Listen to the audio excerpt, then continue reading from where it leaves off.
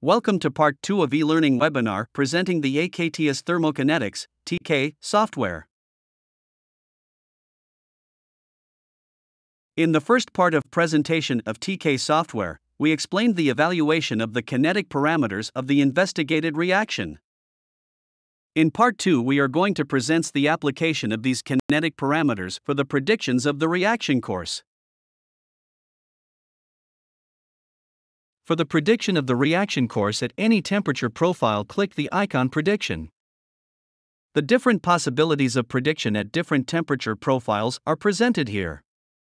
The AKTS Thermokinetics software offers a wide range of possibilities, from isothermal mode, where the temperature is kept constant, to customized temperature profiles, which are very useful when working, for example, with data loggers monitoring temperature and humidity. Click on the tab Non-ISO to display the prediction of the reaction rate and progress under non-isothermal conditions and specify the starting temperature and the heating rate. In the presented simulation, the heating rate 0.25 Kelvin per minute and the starting temperature is 20 degrees Celsius. To adjust the axis vertically, click the right mouse button. This figure displays the predicted reaction rate and reaction progress in the form of normalized signals as a function of temperature under non-isothermal conditions with a heating rate of 0.25 Kelvin per minute. Units displayed on the plot can be chosen from the window appearing after clicking the right mouse button. For example, it is possible to express the reaction progress in joule per gram and the reaction rate in watt per gram. To display the heat flow and the amount of evolved heat as a function of time, the user should click the right mouse button.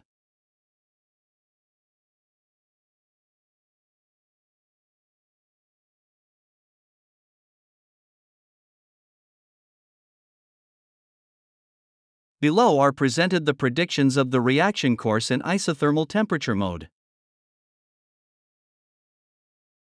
Click the icon Prediction. Click on the tab ISO to display the simulation of the reaction rate and reaction progress under isothermal conditions. Enter the lowest temperature required. In the example shown, it is 50 degrees Celsius. Introduce the temperature difference between the isotherms, in this example, it is 5 degrees Celsius. And specify the number of isotherms, in presented prediction, 15 isotherms will be displayed. It is also possible to calculate the maximal heat release rate. The temperature dependence of the maximal rate of the heat release is shown in the inset.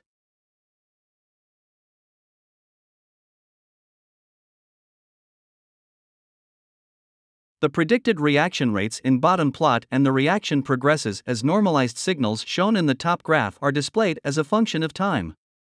The temperature values in degrees Celsius are marked on the curves. The user can change the size of the plot using the mouse wheel. This slide presents the dependence of the maximal heat release rate on temperature. The software allows to fit a polynomial curve to a set of displayed data points. The degree of the polynomial can be chosen from the polynomial dialog box displayed after right clicking on the data.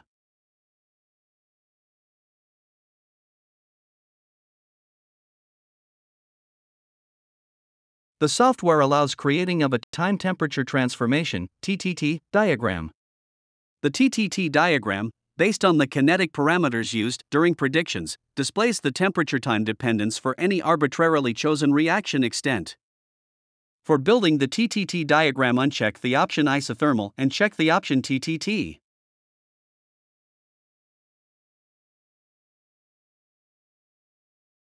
This TTT diagram based on the kinetic parameters used for the isothermal predictions displayed in the former slides, presents the temperature time dependence for various reaction extents.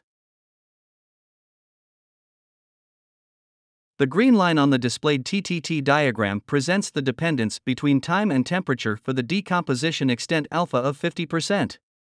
The plot shows that the reaction extent of 50% is reached after 30 hours at 75 degrees Celsius or after 1000 hours at 35 degrees Celsius. The advantages of TTT diagrams can be presented in more detail in the slide when time temperature dependencies are displayed for a few reaction extents, in this example 50 and 95%. One can select the desired temperature or time and read the TTT diagram as follows. For the temperature of 75 degrees Celsius, the reaction extent amounts to 50% after 30 hours and 95% after 50,000 hours. Note the logarithmic scale on the time axis.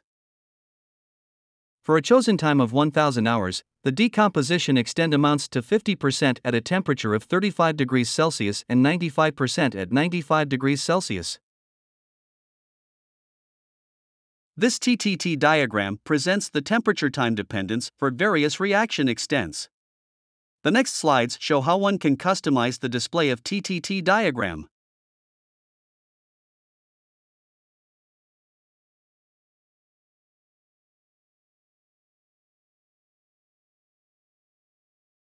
The displayed curves show the time temperature dependence for the set of the reaction extents.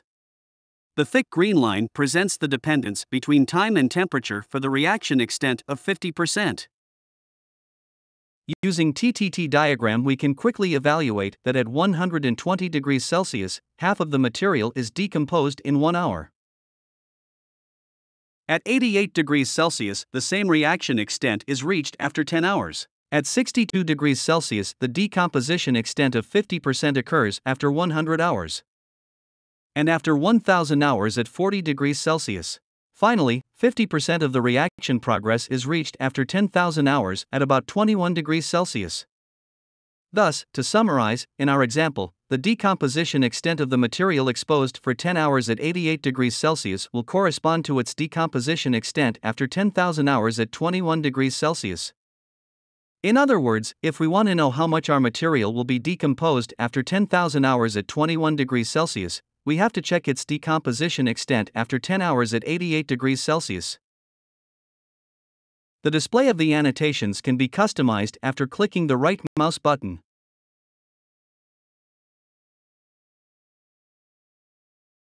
After customizing the display of one annotation, the next right click opens Copy Style box which allows applying the same display style to other annotations.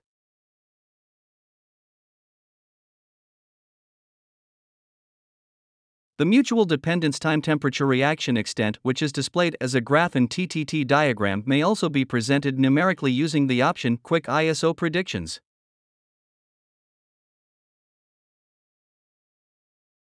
The examples presented in this video TK Part 2 clearly illustrate the advantages of the application of advanced kinetics for the prediction of the reaction course in isothermal and non isothermal conditions.